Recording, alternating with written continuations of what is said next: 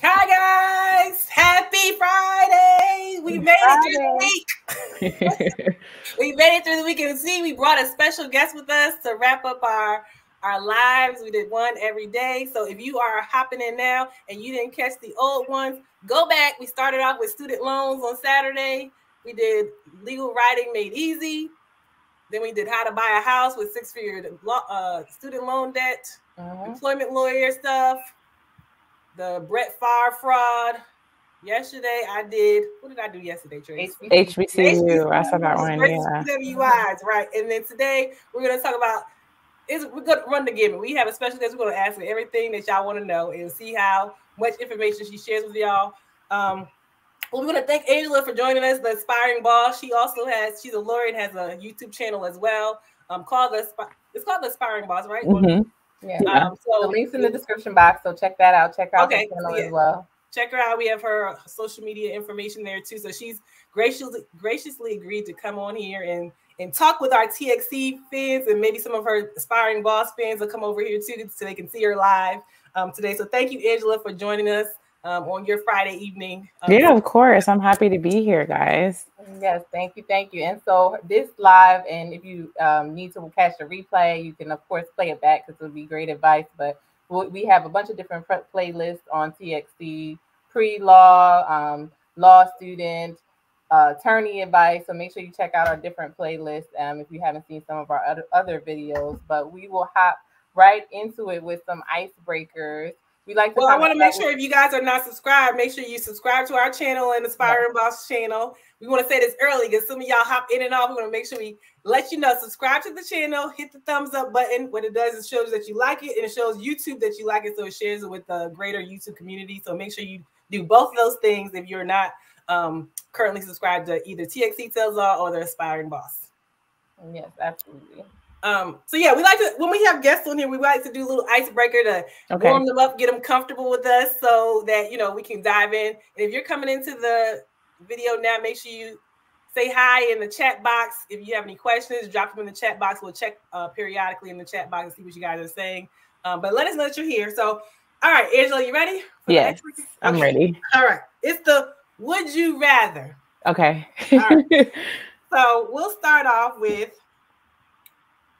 granted, we know that you know you're currently a practicing attorney, but this is would you rather think back? would okay. you rather get a free ride to law school or guaranteed first time bar passage? Free ride to law school. Amen. that that that student loan debt is no joke, and I know that if I put the work in, I could pass the bar without a guarantee because none of us had one, right? So there right. you go. Okay. Um, would you rather do what you love and get paid thirty thousand dollars, or have a job you hate and get paid three hundred thousand dollars? if this, if I got that free ride to law school, I would do the job that I love.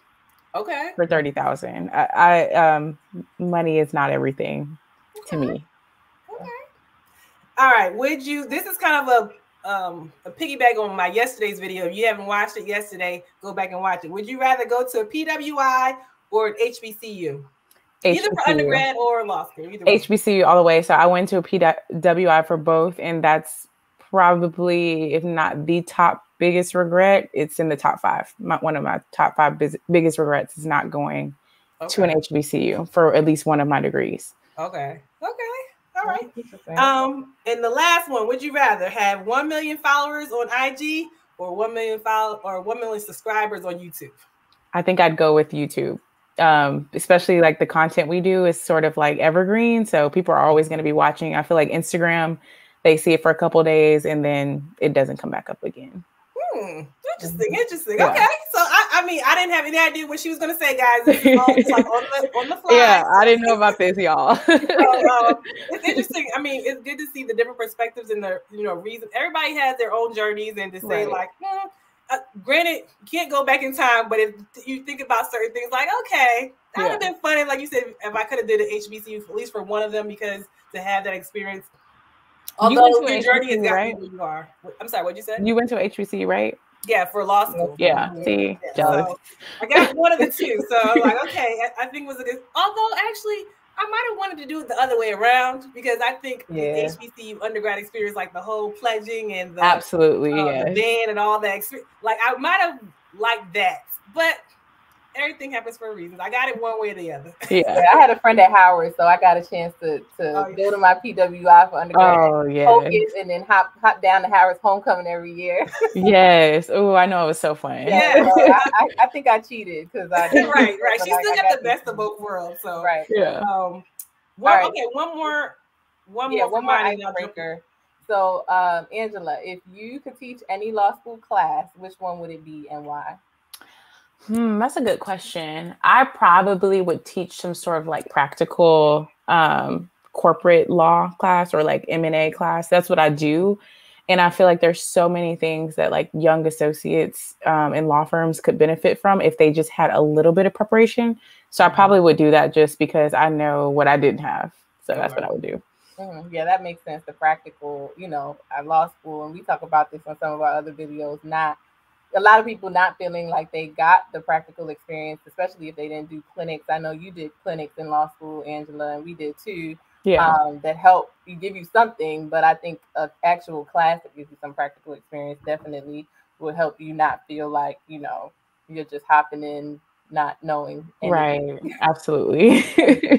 Right. All right, so kind of going from icebreakers and transitioning into you know the nuts and bolts of, of this live, we wanted to kind of talk about you know transitioning as an attorney from that zero years of experience where you feel like you don't know anything at all to then you know we see the brackets. Okay, do you have zero to three years of experience, or then three to mm-hmm. five years, and then five to seven, and then ten plus. So we did a video kind of talking to some other attorneys that were at five years and then 10 years and then 15 and more, and they all had different Ooh. perspectives. All had different things to say, all had different mm-hmm. challenges, right? And I know I watched your video too, where you said you talked about um, my legal journey, how it started versus how it's going. So, how do you feel now? What's the biggest, I guess, difference between how you feel now, seven years in, versus how you felt maybe zero or one years into your practice? Yeah, that's a good question. I think one of the biggest things is I just feel prepared and confident. Um, for a good amount of the beginning of my career, I felt I was not confident. And that mm-hmm. is something that I think affected me a lot. And obviously, you know, as a first year or, you know, less than first year, you don't know anything, right? Mm-hmm. But I still, even in comparison to some of my counterparts, I was a lot less confident than them. And I think I let certain things get to me that really don't matter, like mm-hmm. where I went to undergrad or where I went to law school and all these things. And even though we're in the same place, my confidence level is just so much better. And that comes with time. I think Right. that comes with time, experience, and just believing in myself. Um, But yeah, I would say my confidence level is probably the biggest thing that's changed, along with you know just experience. Yeah, that's. I mean, that's good that you mentioned like transparent about that because I think some people feel like, oh, it's just me. Should I not feel this way? And I think it's it's normal to feel that way, but also to say like, okay, push through it. And I think um once you're in a certain spaces, like you don't have to prove yourself. You are Yeah. here. exactly. I'm like, wait. So I went to a you know not so great law school, and you went to Harvard, and we're in the same place. Right, we the same. I, I might be a little special. I don't know. Right. Right, like- so basically, I'm saying, who, who's who's in the room here? I don't know. Yeah. Next to each other. So yeah, when you think about it from that perspective, I was I was at some event the other day and they were talking about certain undergrads and they were I'm freezing. They were talking about certain undergrads and I was just like, um, but yet I'm in the same space as you right now, and I did not go to what you consider like more of a top tier. But I'm talking to you. We're the, we can afford the same things at this point. Like what? So really, what was the appeal? Like what? Why are you seeming like seemingly thinking that you are better than me? So I had to think about that later. Like, all right, and Yeah. this is me being Yeah, at law that's- the thing. 11 years. that's I mean, I it, it comes and goes. But I'm glad I appreciate you sharing that, being transparent with people um, who may be experiencing that, or you know, if they experience that in the future, like, oh, I remember she talked about that, and it's it's all good. Yeah. Like, be confident, stand your right. Like, look them straight in the face. Like, yep, I mean, exactly, exactly. So Mhm. that's good. All right, so I know um, you said you practice mergers and acquisitions and corporate law. I know you also did a video about like what's the practice areas. How do you know when you feel like you you're in the best practice area? Like, is it a feeling, or you just like, okay, I'm good at it, so I'll stay here, or how did you make the decision? Like, this is where I'm going to be, or even if you decide you're going to change, like, what was yeah. your like? I changed my specialty. Yeah, I, I definitely think there's a feeling. Well, I think first of all, majority of people when they come out of law school don't have the best opportunities, right? Like mm-hmm. majority of people come out of law school and they just really go into the practice that they are able to get a job at. Let's just be honest. That's just how mm-hmm. it works for us. Right. Um, so with that, I would say if you get into something and it's not you don't feel it, it's okay. It's okay to pivot. People pivot mm-hmm. all all of the time. And so it's okay to pivot. And two, I think it is a feeling. So I started my career doing real estate and finance, and I liked it fine enough. I always mm-hmm. knew I was not going to be a litigator. Mm-hmm. I always mm-hmm. knew I wanted to be a transactional lawyer, and it was cool. Mm-hmm. When I was um, looking to move to Kansas City, I was looking for jobs, and Kansas City's legal market is way smaller than Houston. So okay. I knew I wanted to work in, in a big law firm because I, I I just knew I wanted to get certain experience, and so there weren't that many options. And so one of the firm the firm that I ended up going to, it was a corporate M and A position, okay. and I'm like, well, I don't really practice that, but it's on the same spectrum. Okay. And when I started doing it, I loved it. And like I said before, it was okay. And I was like, yeah, mm-hmm. I could do this. Mm-hmm. And then I mm-hmm. realized, oh, you're supposed to feel this way about what okay. you're doing. So I do think it's a feeling okay. um, for a lot of people. That feeling comes and goes though, because sometimes I'm like, you know, once you get into the career, it's like, okay, I, but I'm stressed. Like, how? Right, right. I think every job is going to have some, yeah. some stress in it. So, yeah. just like, which one do you want to put up with at this point? Like, I exactly. enjoy for the most part. It's, exactly. it's like the 80 20 rule. Like, 80% of the time, I'm okay with it. 20% right. of the time, I'm like, Exactly. That's more so, realistic. I'm not going to get everything that exactly. I want. So, I mean, that's why can't we though? No, I, I just sometimes I feel like they're like, why can't I just get everything perfect. That doesn't work like that. That's the. I'm gonna go play the lottery when I get off here. yeah, right. Tracy, right. are you a Virgo by any chance? Because that's how we think. No, yeah, I'm, I'm a Virgo. Oh, okay. Capricorn. mm-hmm, Capricorn. But I'm just like, why can't we have it all? I just don't understand. But it's 80 20. When's your birthday, Angela? August 30th. Okay. Oh, I'm August 27th. See, I really? Oh, yes. Bye. Company.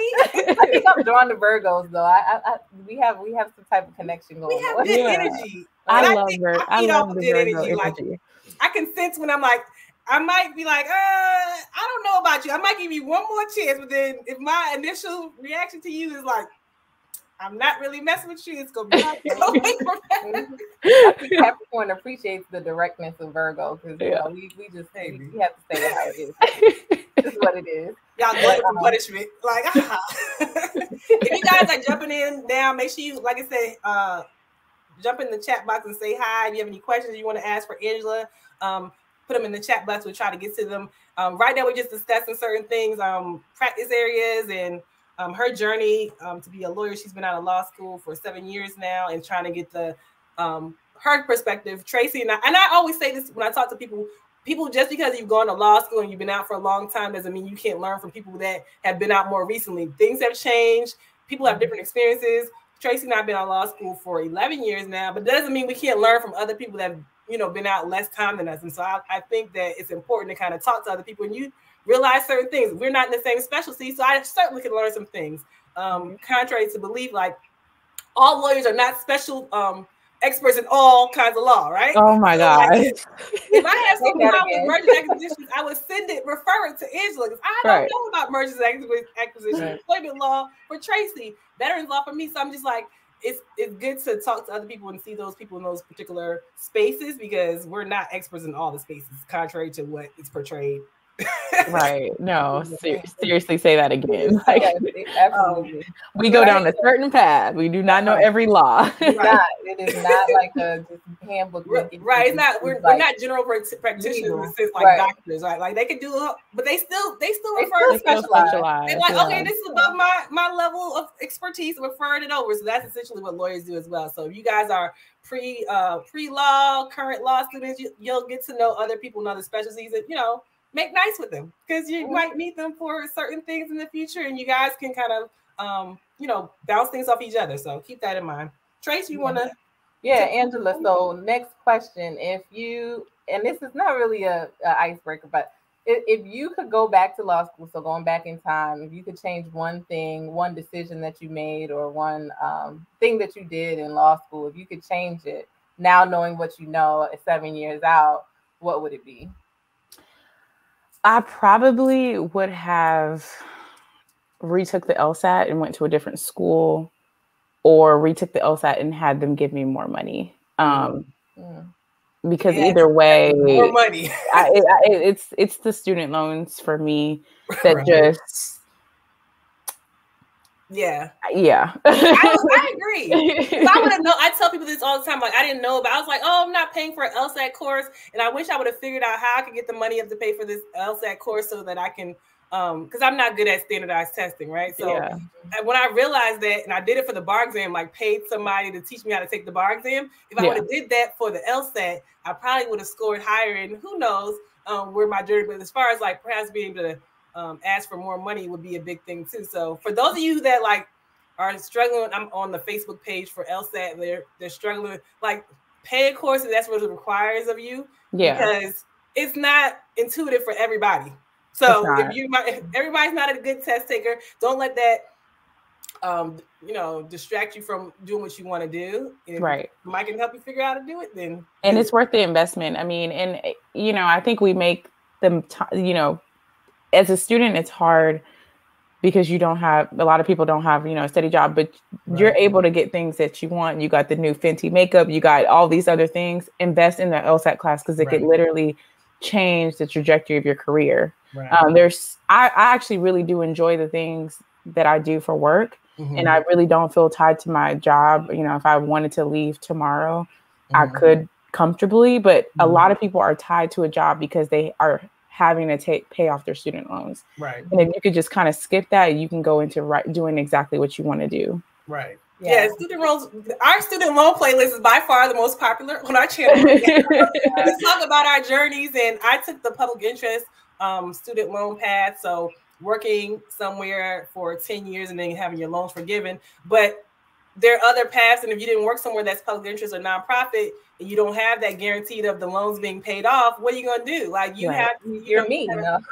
you have right. like the shackles to you know to you. So you, you can go a little mm-hmm. bit, but you ain't gonna go too far because you gotta pay back this sometimes six figure debt. So and that little 10k that Biden gave is not doing much for um, lawyers. Yeah. And for a lot of lawyers, they're not even eligible because right. they make too much money. So, right. yep. Mm-hmm. Yep. So, so, I mean, so many problems. student loans affect a lot of people. And mm-hmm. um, although Tracy talks about how, like, you know, you can still do certain things, it's still kind of like that little thing that's still on your shoulder. Like, yeah. hello, I'm still here. You bought the house, but I'm still here. right. Yes. I'm still here. Like, mm-hmm. so to not have that at all kind of like changes everything. So I can yeah. appreciate what you're saying about student loans.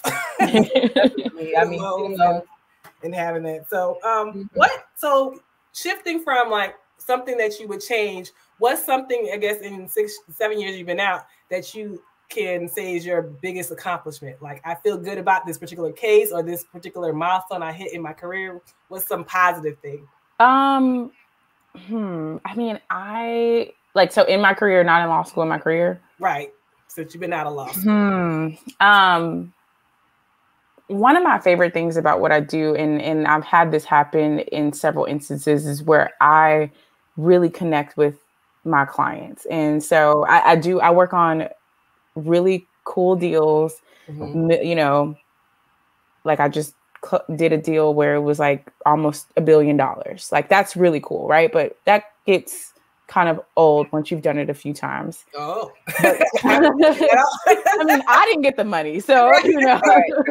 Right. Um, but connecting with clients as an M&A lawyer, a lot of times we are representing sellers, right? So mm-hmm. it's uh, you guys as an employment lawyer, you probably work Tracy, you probably work with your clients on a consistent basis. Yeah. A lot of times my clients can be one and done. And so they we sell their company and then, you know, Mm. They might send a Christmas card or something, but we don't really talk to them anymore. Mm. And so, one thing that I have really grown to love when I can connect with a client and really gain that relationship where they like look to me or call me for other things, um, especially as an associate, you know. So, yeah, I've been out seven years, but I'm still pretty junior in comparison to the people I work with. I work with people who've been practicing for 30 years, mm, okay. you know, 20, 30 years. So caught be, me being the point person, even though I'm the most junior person or the second to most junior person on the team. Mm-hmm. Um, I would say is one of the best feelings ever. So it's not a huge accomplishment, but it's mm. those types of things make me feel good.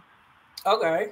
Tracy, you want to ask her about because we talked about we had a panel with Cameron Monet. She's also another YouTube. Oh yeah, I love Cameron. Yeah, she was on here. We did a panel of um, what was it called? Confessions, Confessions of, a Black Lawyer. Yeah. So basically, piggybacking on what you said as far as feeling like you're the point person and connecting with your clients, have you been in positions where you felt like as a black attorney, as we know, black attorneys are making less than five percent of all attorneys, and black women attorneys make up 2%. So have you yeah. ever felt in a position, since you are the per- point person and sometimes a junior, where you felt like being a black lawyer um, affected how they interacted with you?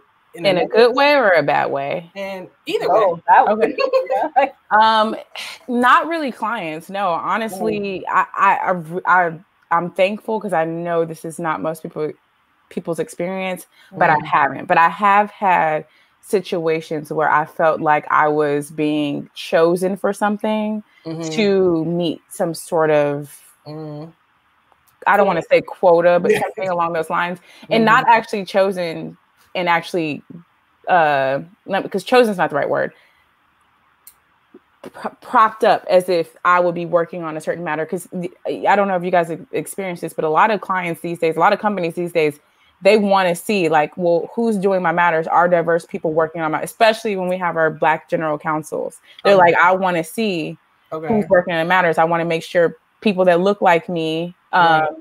Are working on these matters. Mm-hmm. And so mm-hmm. I have had in the past my name used for matters that I'm like, I didn't work on that. Oh. And then found out about that. That was actually done to me. Um, at my first firm, which I great firm, but yeah, it it, like, it that did my face. And I didn't, yeah, and I'm like, yeah. Uh, no, if I if you use my name, I need to work on it. Right. You know. Um, but clients know. I actually um I do pretty well just socially. I'm an extrovert. Okay. So I haven't had those situations. And you guys have probably went through this too, where as black women, we have been as black lawyers, mm-hmm. we have been in so many spaces throughout our whole life where we're the one of few. Right. And so we've gotten comfortable with being in those environments because we're just so used to it. Mm-hmm. Mm-hmm. Um, yeah. Well, I would say about my current firm, though, it's this is the most Black people I've ever um, oh. had. I mean, it's a large organization, so okay.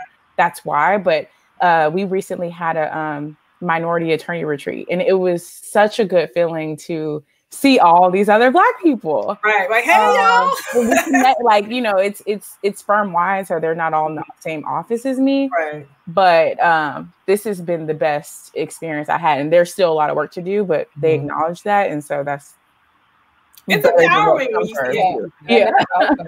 I do yeah. feel like so not clients, but internally, yes, I've had those issues. Okay. Yeah, I feel like the tide is changing, at least in, in, my practice in employment discrimination with the clients. I've had a lot of clients, I would say within the past three to five years in my practice that have said I was seeking a African American attorney, I was seeking a minority attorney because I mean a lot of with the issues I'm dealing with is, are discrimination. So they yeah. want somebody who they feel like can relate to them from that aspect. But they also just like I want to support black business. I want to support hmm. yep. black attorneys. So I've seen that and I feel like it's been different lately versus when I first started in my practice, there was more of a. I mean, I got the "Are you the paralegal?" all the time. Right. So yeah. I, yeah. For a meeting with my notepad and introducing myself, and they're like, "Well, when's the attorney going to come in?" And I'm just like, "Really? Excuse me? Like, yeah. What are we doing?" But now I feel like it's getting a little better. Not, and I'm not saying at all that everything is just great and everything's changed, but at least I'm seeing more people giving us, you know, that respect that you know we we deserve and we've earned. So that's good that you're in an environment where you feel like you know at least they're doing the work that they have work to do, but it's looking better. Yeah, I think the client's demand. I think the client demanding it is what's making it change. Okay. Um, because I just, I, I personally can't think of a reason why it is the way it is. You mm-hmm. know, I, I, I really can't. Mm-hmm. Um, it might be like you know i think the pressures of what's going on in the you know in the world i think that kind of influences because people are more bold about they can be bold about a lot of things right but yeah. being bold like you said like they're intentional about i want to support black businesses and money talks right if, yeah. they're saying they want to support people who have black um, attorneys on their we lost tracy black attorneys on their um and they're employed, then they're like, okay, well, they come in with their money, we're gonna give them what they want. So that is in turn helping other people, you know, the yeah. effect of it. So I mean, that's a good thing. If yeah. you guys are are on the chat now, we want to make sure we have time for questions. If you have any questions for Angela or Tracy and I, make sure you hit them in the uh, chat box or just say hi if you're jumping in. Yeah, say hey, so we know you're here. yeah, we, know you guys are here somewhere. You might be in the replay game, but if you're here somewhere, where um jump in the chat box and say hi. While Tracy's internet is kind of working itself together, I'm gonna hop on to the to the next question.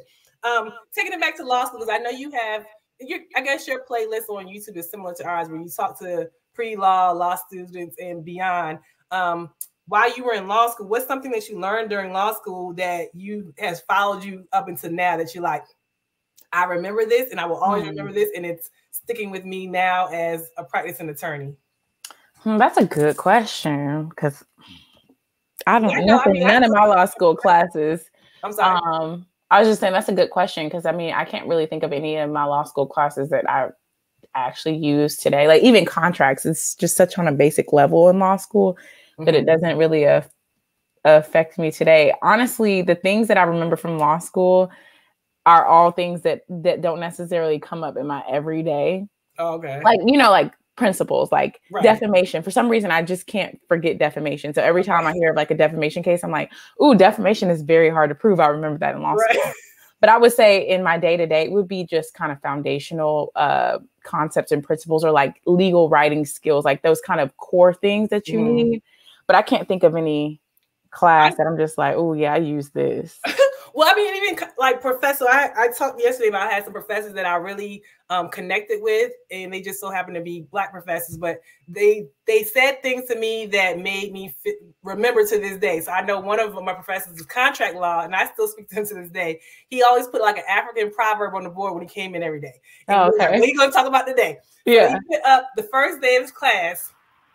Struggle to farm, gifts will not satisfy your needs.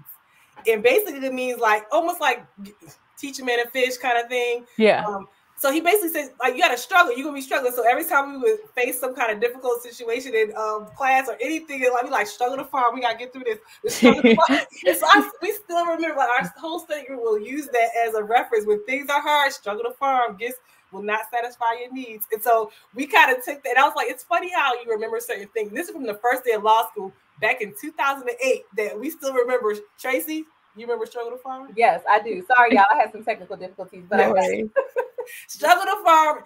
I was asking Angela why you had um hop up was one thing she remembered about law school, and she was saying she remembers like foundational things. And mm-hmm. I was saying, well, like the struggle to farm for me, like that was something I connected with my professor with.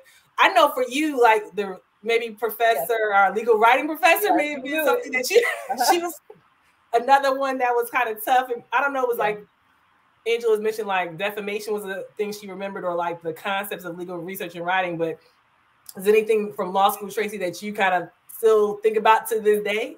Yeah, I think uh, so. I had a legal writing and moot court professor who would always talk about hand to hand combat. Like that's how you want to have your facts kind of interchanging with the law and make sure that they make sense, that they communicate to each other because you want your audience, whether it be a judge or a client or prospective clients to understand the law that you're talking about, but also how that relates to their particular facts. So I, I mean, everything I write, I'll be like, okay, hand in hand combat. Hand in hand. how do I, how do I meet flowing out here and your law flowing out here? They have to work together in order right. to get your point across and you know make sure that your end goal is matching. So right. um, that's my thing, hand to hand combat. I do remember struggle to farm though. That was a good. That was a good. we talked. To, well, at least I talked to both of those professors still to this day, and like I just check on them every so now, every now and then. And it's also a good thing, just to say as a side, it's a good thing to keep in touch with professors because even when you're going for something in the future, if you want to. I know I was applying for some position that I did not get, or the uh, or the um, Texas board and you need a recommendation from certain places, you want to have people that you can connect with, like people True. that you know personally, people from your past that can attest to you as a lawyer. So you have law professors that you still speak to, those that are people that you can reach back and get recommendation letters from um, if needed. So keep keep in touch with people so that you can have that automatic. Like I know who I can ask for if I need a recommendation for certain things. So um, that's important. Let me see. We have people hopping in to say hi. Sharon Leeds. Hi, Sharon. Hey, Sharon. Thanks for joining Mrs. Matthews. Hi, Mrs. Matthews. Hi. Um, so yeah, I think it's important to keep in touch, and I remember certain things, and you'll remember when you have good experiences, and you remember when you have negative experiences, right? Yeah, yeah. When y'all said that, I thought of it wasn't mine, but there was a girl, and she became the valedictorian. Mm-hmm. Um, but the first day in crim law, the professor just got her. She didn't know. He asked her what um, what the rule for murder was, and she Mm. didn't know. And he had her standing up there for felt like an hour. Wow. And so I know that I still remember murder. Uh, the common law rule for murder is the killing of another person with malice aforethought. forethought. right. right. I did Like, not want to be that. caught slipping like that. So yeah, Right. Yes. I mean, that's it's it's, it's Hey Dad, Free Dad, Free Dad. Dad has a um, YouTube channel too. He's a lawyer and he Yeah. has a personal finance channel. He also does like reaction videos. So if you guys are are you know check him out on his page. So thanks for supporting us, Marcus. Um, Mhm. Marcus today, but yeah, I mean, yeah, I would I, I would not ever forget murder. Never forget that. Angela, I did have a question for you that's it's, it's related, but I know you, you know, you're heavy in the YouTube influencer market and I follow you on IG as well. Um, what made you want to kind of take your legal knowledge and kind of your journey in your legal career and put it out on social media platform in that way? Like, did you have a moment where you were like, I really want to do this, or was it something that happened? yeah. So I think uh, the biggest thing for me is just trying to be a resource that I didn't have and I wish I had. So I kind of started doing kind of kind of what you guys do in the sense of you guys talk about law, but you guys also talk about personal finance, which is super important to me because I made some really bad financial decisions it- like first coming out of school. Mhm. Um, so I it, the intent there was really to just be a resource for like young, you know, young grads to not make really bad financial decisions. And then I think I did a video about like a day in the life of a lawyer, and it just kind of. I- it didn't blow blow up, but it was the most exposure I'd ever gotten, and Mhm. I realized that there was a need for that. Um, For some reason, there's a, and actually, I know the reason. There's a lot of people who talk about law school, but there wasn't a lot of people who talk about being a lawyer or who are already lawyers. And I know why. It's because we're busy. and also, lawyers on social media is a new thing. Like, you don't see that a lot. So, Mhm. it was really trying to be like a resource that I wish I had when I was Yeah. coming Yeah. up in law school. That's great. Yeah, and it's funny you said because I saw your day in the life video, and I mean I've been like Larissa said, we've been out eleven years, and I watched the whole thing, and I was you know just to kind of see because it's something that you don't get a chance to see what other even other lawyers what their day Right. looks like. Like Yeah. does it look like mine or does it look Yeah. different in, Mhm. reality? And I think you know you do a really good job of it. I watched Cameron Monet's A Day in the Life too. And Yeah. she does a good job as well of like it's real. Like this, y'all getting in the car, you getting to work, you're doing things that you need to do in the house. You know, it's like a real day. So I think it kind of like you said, it's a resource that you, we definitely didn't have. There was no seeing what a day in the life of a lawyer looks like, especially Right. if you look like us. What right. Does it, what does it really look like? So yeah, I think it's I think your channel is awesome. I think it's awesome that you decided Thank to do that and that it's authentic. Because you know, I mean, I've seen some other channels where it's like I can't get a feel for what it is you're, you know, really Yeah. What your day And is really like. And so I think people do that to protect themselves because you do get the criticism or people like, oh, this is the production quality. And I'm like, well, this is my real life. I mean, if I can stage it, but I, y'all know we don't have time to be Right. doing all that. Like you, you kind of Right. sometimes get what you get with, you know, Right. with what we do. And it, it's, it's the real deal. Cause when you get out in law school, it's, you know, so many people look at being a lawyer is like this glamorous thing. And it's really, really not. It's a rewarding career, but Yeah. we're just like everyday people are you know it's not shiny so true. I think that's it, it does make it more relatable to see people that look like you and like even on it- IG it gives IG gives you little snippets of it. So Yeah. you get more of like, okay, I can do a little snippet real quick, but um on YouTube kind of give a more in-depth like this is what it's gonna be like to be a lawyer. So um yes, you will be working late night sometimes. You will have a lot of reading. If you Yeah. don't like reading, don't become a lawyer. So- yeah like one of y'all reels that y'all did recently about like it was like Monday after you just worked all weekend. I'm like, oh my God, that that literally was my weekend. And I was like, I, I can relate. Like right, that yeah. is literally what my life was just like. Right. Like, it's Monday. Tell y'all, don't say we didn't tell you. right. It was Monday just yesterday. I feel like like, you know, what was the right. We got some comments up here, y'all. Um, Miss Matthew said, when I was a girl, Matlock Perry Mason inspired me to want to be a lawyer. Even later, when I was in my 20s, Maxine Shaw reignited that desire, yet didn't return to school till I was in my 40s. Um, right. I know, Dorita, do you want to take Matlock? oh yeah, I'm a, I'm a Matlock Perry Mason um, girl. I, that's what I, I enjoy. I'm an old lady inside. I was like, I know Maxine. I don't know who Perry Mason. Maxine Shaw is from Living, not Living Color. Max um, the Maverick from Living Single. Yeah, Living Single. Um, yeah, and then her. the Cosbys. You know, we have um, the Miss Cosby was a lawyer and then she was married to a doctor. So like we saw some portrayals of black women lawyers, but not as much as. And so I guess it's good to see people in those spaces. Um, R. Willis, hi, thanks for joining. It's wonderful to hear from two percent women minority lawyers who've been in the practice for a while. Yes, we're here, guys. We exist. Even though it doesn't seem like a lot, you got a lot today on the on the chat. So yeah. Um, Miss Matthews has a question. Who inspired y'all? So, oh no, she says, "Who inspired me?" Then Barry Scheck Esquire, his Innocence Project organization. I just knew I'd graduate and go work from him. Got 95 credits in finances and had to bow out. too much. Okay, well, thanks for sharing. We appreciate you. But she did ask who inspired y'all. I, I did oh, want to be Max the Maverick, um, but cool. I actually I interned at the Cochran firm, so um, Oh I, wow, yeah, that's awesome. Yeah, so and that was in undergrad, so I, I feel like you know, I always kind of saw him, you know, he was larger than life, especially in New York. Um, yeah. So just working with the, even the attorneys in there who weren't as famous as him, but I mean, the attorney who interviewed me, her name was Tracy, and she did employment law. So I was like, maybe, maybe that could be me. And I and I, yeah. didn't, I didn't even went to law school yet. So I think, you know, I had some like you know those larger than life famous attorneys, but also like regular people that I interned with. That I was like, if she could do it and she looks like me, I could do it too. What about you, Angela? Um, I didn't really have any like people that I was like, oh, I want to do that because I've seen them do it. But my grandmother is she has a JD, she has two PhD, she oh, she is a degreed woman, and she always she went to law school but never practiced, and so I wanted to kind of carry her dream forward and she lives through me even right. to today and so that, that's probably the person that inspires me is my grandmother. That's wonderful. I yeah. mean, i think my my grandmother didn't she didn't finish college. She ended up having children and you know she's no longer alive but that was back in the day when like most of those women stayed home and took care of the kids.